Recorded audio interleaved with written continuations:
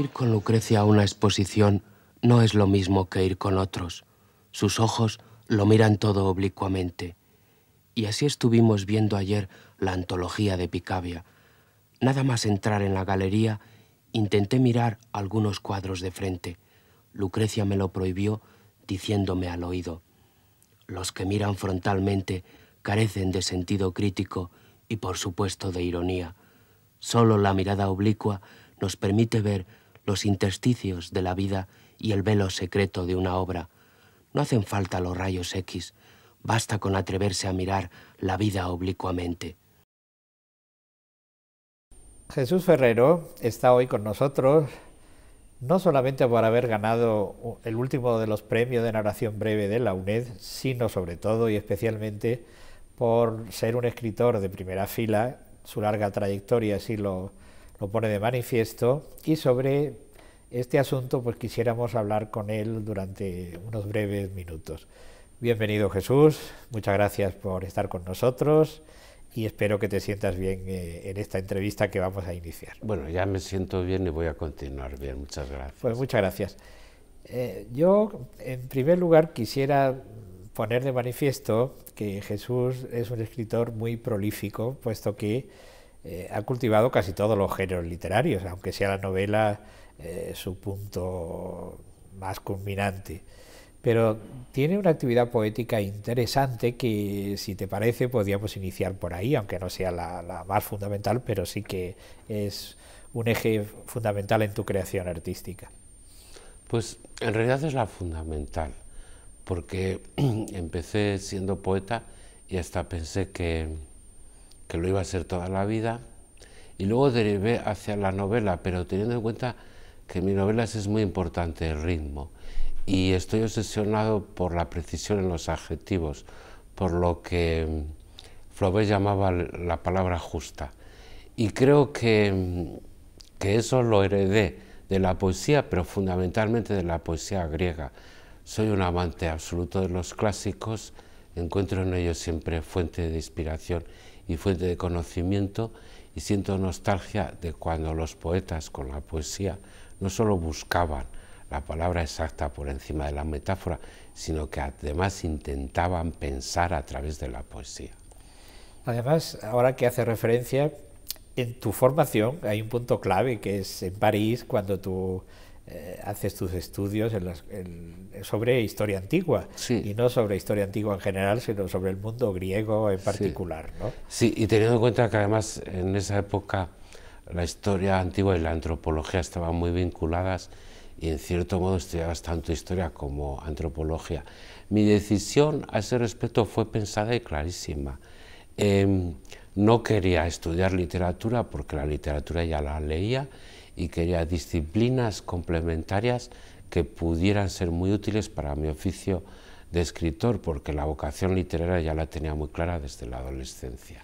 Y, esa estancia en París, desde luego, te sirvió mucho, puesto que tuviste la oportunidad de, de, asistir y de, tener también eh, pues, contactos con, con, pensadores fundamentales que, desde luego, en esa época y en la historia de la tradición eh, del pensamiento francés eh, es importantísimo. Yo, desde luego, también conocí a Roland Barthes y también tuviste conexiones con Foucault, con Lacan y con todo ese mundo tan interesante ¿no? y tan heterodoxo, por otra parte, que también conviene que haya movimiento, que se remuevan las aguas del conocimiento. Sí, yo creo que fue la última edad de oro del pensamiento francés, partiendo del hecho de que el pensamiento tiene que actuar de alguna manera en la república. De hecho, si no, no tiene sentido. Y en ese momento sí que el pensamiento estaba todavía muy imbricado en la sociedad y en lo que estaba ocurriendo en la sociedad cosa que ahora he hecho en falta. Para mí fue, más que un honor que puede parecer retórico, fue una suerte poder acceder a estos pensadores que, que se tomaban el ejercicio de pensar como algo verdaderamente útil. Ahora parece que fuese inútil pensar. Y además que era, era nuestra puerta, al menos los que nuestra generación, si podemos llamarlo así, pues es que era nuestra salida. Era, primero, por el estudio del inglés era desconocido entonces, estudiábamos francés y nuestra, nuestro punto de mira era la cultura francesa. Y allí a París fuimos todos, hicimos, ¿verdad? Nuestra...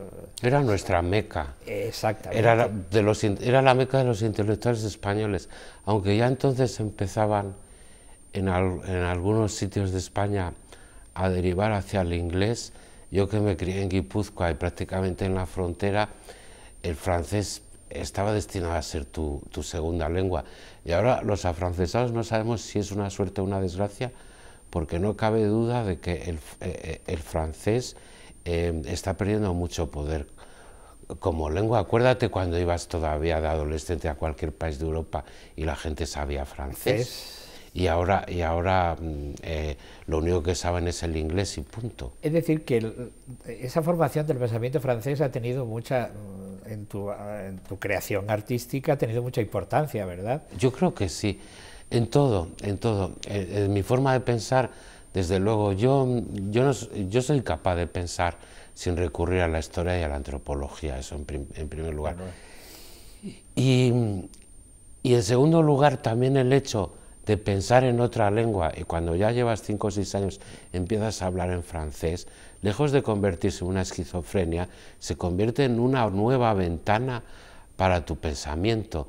Em, yo soy totalmente afrancesado. Se nota yo creo que hasta en, los títulos de las novelas. Y en mi prosa, que creo que es muy castellana, como suele ser la, prosa de la gente de Zamora, pero, pero, pero además con cierta influencia francesa que yo no puedo evitar y no me importa. Y es más, creo que a pesar de que España y Francia son países fronterizos y los países fronterizos tienden a una cierta enemistad, el español se complementa mejor con el pensamiento francés que con el pensamiento inglés, porque es un pensamiento latino y eso ya mm, crea una gran, aunque seamos muy diferentes, nos crea una gran familiaridad con ellos. Y además allí en París fue donde, en Francia, donde escribiste tu primera novela, Belvergin, ¿verdad? Sí. El, curiosamente, mi primer texto largo fue en francés, que yo no me lo, eh, que fue la tesina para la Escuela de Altos Estudios de París, que en realidad fue mi primer texto largo de ciento y pico páginas. Creo que fue fundamental hacer ese esfuerzo porque em, un ensayito, una tesis, una tesina es ya una narración. En muchos aspectos es una narración donde, donde los personajes son las ideas, pero es una narración. Entonces ese esfuerzo fue fundamental para la elaboración de mi, de mi primera novela porque por, primera vez me di cuenta, y gracias a la universidad naturalmente, que podía escribir un texto largo. Em, sabes lo que puedes hacer cuando te pones a hacerlo, si, no lo intentas ni siquiera lo vas a saber. Por otra parte, eh, ya como norma general, aunque sean textos largos, no son excesivamente largos como suele ocurrir con otros escritores. Pero lo que sí fue importante fue que Belvergin fue un bombazo dentro de la narrativa española actual, ¿no? Aquello eclosionó el panorama literario narrativo español y, para ti sería también, no sé, como tu primera novela, una sorpresa o... Más bien una pesadilla, más bien una pesadilla, porque sí se convirtió en la novela emblemática con la que aparecía una, una generación. Antes había habido novelas de escritores de mi generación, pero habían pasado, digamos, más o menos desapercibidas y no focalizaban. Em, y eso fue casi una desgracia porque creo que todavía no me lo han perdonado. Más de una vez, um, editores de ahora me han dicho, bueno, a te empiezan a perdonar porque esto eh, ya es sangrante. Sí, creo que me lo han empezado a perdonar, pero no creas, muy recientemente. Y luego, cuando la primera novela triunfa, parece que ensombrece mejor a las otras que normalmente suelen ser mejores. Recuerda que le pasó a Cela, sin querer compararme con él, con la familia de Pascual Duarte y a Thomas Mann con los Brandenburg. Quiero decir que, pero a la vez tiene, tiene una gran ventaja, que nunca en tu vida vas a tener más mínimo problema para publicar. Pero además eh, es que ha estado traducida a muchas lenguas y una de ellas el chino, si no me equivoco, ¿verdad? Sí. Sí, además para ellos ha sido una lectura muy, muy interesante porque se vendieron bastantes ejemplares de los que nunca cobras derechos por descontado. y, y, ahora está, y ahora está introducida en una de las páginas web más populares de China, donde te dejan leer cuatro o cinco capítulos, pero luego tienes que pagar, que es, que es una fórmula mucho más interesante que la española. Y, además la han leído en, en, lo que para ellos es una especie de transición y se han, y se han identificado sorprendentemente mucho. Ahora te voy a decir una cosa, yo jamás hubiese imaginado que, que algo mío podía salir en China porque yo conocí la China todavía maoísta y pensaba que eso era la eternidad. ¿eh? Ya enlazando con lo de China, también escribiste un ensayo sobre Pekín. Con mucho placer.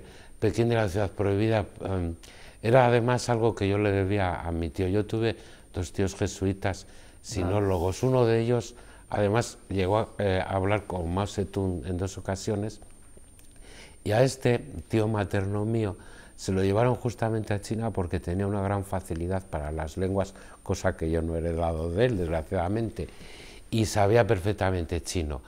Em, entonces yo lo veía en la infancia con su hábito blanco y con sus maneras, esas maneras tan distinguidas que tenían antes los jesuitas, y, esa, eh, y él fue mi puerta a China realmente.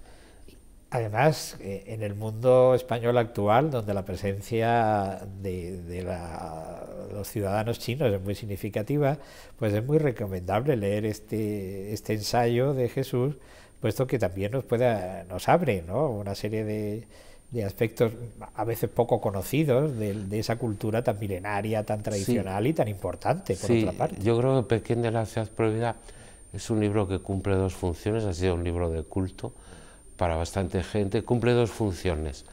Te introduce a la cultura china en general y además te introduce en Pekín. Y no solamente ha cultivado la poesía, el ensayo, que también fuiste premio Anagrama, ¿no? Es uno de los libros de mi vida. Lo que pasa es que en este país piensa, piensan que solo puedes tener Mm, un, oficio y un, un, oficio tengo, que es el de escritor, eh, pero si ya vienes de historia y de antropología, es imposible no caer alguna vez en la tentación del ensayo. Y cuanto más mayor me hago, más me tienta la literatura reflexiva por encima de la narrativa. Eso no quiere decir que vaya a abandonar la novela porque es mi oficio de verdad, pero la, la tentación a poner por escrito mis pensamientos es cada vez mayor. Y que tanta falta nos hace, porque en el mundo de hoy, de toda la fugacidad, de, donde la reflexión está prácticamente anulada. Nunca había hecho tanta falta el pensamiento como ahora, nunca. Porque si bien hay por ahí pensadores, algunos muy cultos y otros muy asilvestrados, em, estamos como en un momento en el que el pensamiento no es operativo, no influye en la, en la sociedad. Y hay que preguntarse, ¿por qué no conseguimos escribir algo que a, los ciudadanos le interese o porque la sociedad ha dejado de interesarse por la reflexión? Y, en ese tipo de, reflexión y de actividades que has tenido tan variadas a lo largo de tu vida, hay una también muy interesante que me gustaría que tratase, aunque sea brevemente, es tu relación con el cine. Eh, tuviste eh, cooperación con Pedro Almodóvar, ¿no? En Matador. Sí, y, he estado escribiendo dos guiones en francés con dos directores franceses de películas que aún, aún no se han hecho y también estoy, estoy colaborando en una serie de televisión que como todavía está en ciernes no, no voy a hablar de ella. En Matador, ¿qué, experiencia tienes? bueno, escribí más o menos la mitad del guion, aunque si uno lo observa con, con un poco de, detenimiento, es más de la mitad, aunque el argumento era de Almodóvar. A mí me gusta mucho trabajar con argumentos de los demás, sobre todo para el cine. La relación fue muy buena, pero también porque fue en la época de la movida y en la movida el mundo era muy fraternal. Eh, tú salías una, una, noche sin dinero y, comaba, y tomabas copas, o te, las, o te las servía gratis el camarero o te las pagaban los amigos. Quiero decir que Eh, en realidad éramos poca gente, mucho menos de, la de lo que la gente se imagina, pero era realmente una sociedad muy fraternal. Todavía se estaba viviendo esa fraternidad heredada de la contracultura considero que el mundo de ahora no tiene nada que ver con él, si estamos olvidando las leyes de la reciprocidad, em, si estamos olvidando las leyes de la mirada y la seducción, porque prácticamente no hace falta seducir, vivimos en un mundo de necios, em, y que yo espero que, que no dure eternamente, no dure eternamente. Esa fraternidad que yo te digo hacía muy fácil la colaboración con cualquiera, y, y en eso estábamos desde que tú vuelves eh, y te instalas en Barcelona y aparece eh, una novela Opium.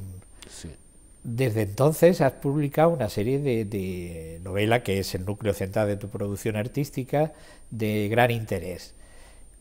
¿Cuál considerarías que sería la línea, aunque los argumentos cambien, la línea o el eje fundamental de todas ellas eh, que, te, que te hacen crear ese, ese tipo de, de, actividad artística, la novela? Es un eje de tipo, de tipo shakespeariano.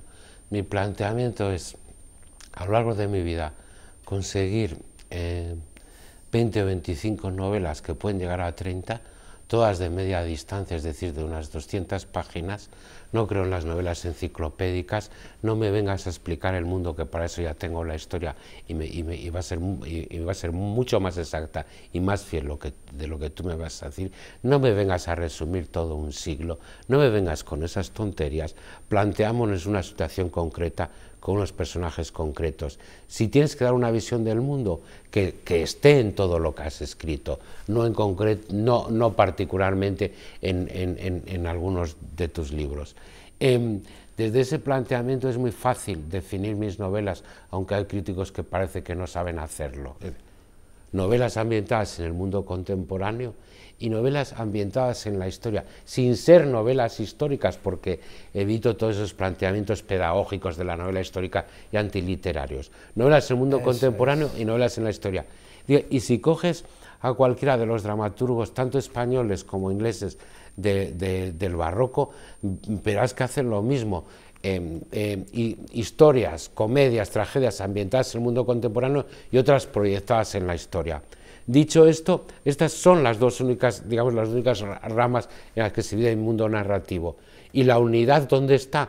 Pues en mi propio estilo. Y además, en que tanto si me proyecto en el pasado como si hablo de nuestro mundo, los, los personajes tengo a, tiendo a configurarlos y a construirlos de manera muy parecida.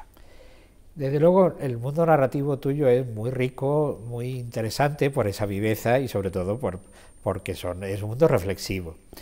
Y desde luego, no solamente la novela, sino también has, practicado la narración breve. Y una de ellas fue, aquí la tengo, El Paraíso, que fue el último premio, el vigésimo cuarto premio de narración breve de la UNED, del cual pues yo formé parte del jurado presidido por nuestro querido amigo y maestro Caballero Bonal. Eh, el Paraíso es un cuento estupendísimo, es una narración breve que yo creo que a todos nos encantó, pero que, le va a encantar a todos los que lo van a poder leer, puesto que ahora ya en la Feria del Libro de junio se editará el volumen y aparecerá, por cierto, con una muy bella factura. El, paraíso es estupendo porque es un hombre que está, ¿verdad?, en su situación normal y de pronto tiene un una transposición al, paraíso, al cielo. ¿Y qué ocurre allí? Sí, es un transporte parecido a los que se ven en la Biblia, em, em, en los profetas, es un transporte que está en su vida cotidiana y es transportado al paraíso para que lo vea.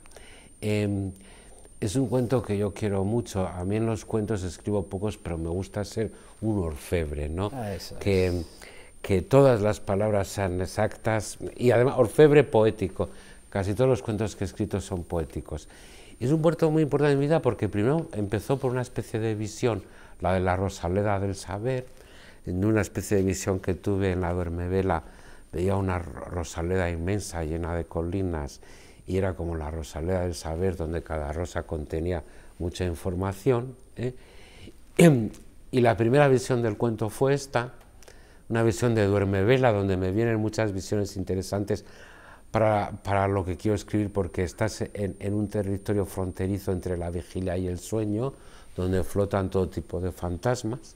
Y allí, por ahí han pasado todos, que haces una relación de todos, de, los clásicos de Platón, Aristóteles. Hombre, es que todos los que han estado en el paraíso. Y estaban en el paraíso, claro, es que están cansados y hastiados de tanta placer. justamente el cuento surgió de esa especie de entresueño de la vela y de y de una, de una reflexión, en el fondo lógica, sobre el paraíso. Sí, el paraíso va a ser la eternidad, de acuerdo, de acuerdo, la eternidad sí.